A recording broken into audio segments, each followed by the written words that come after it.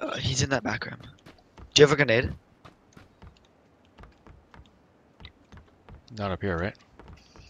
No, he's in the he's in the that door right there. You think They're looking there? at. That's hilarious. Yeah, that's that's that's where the door was.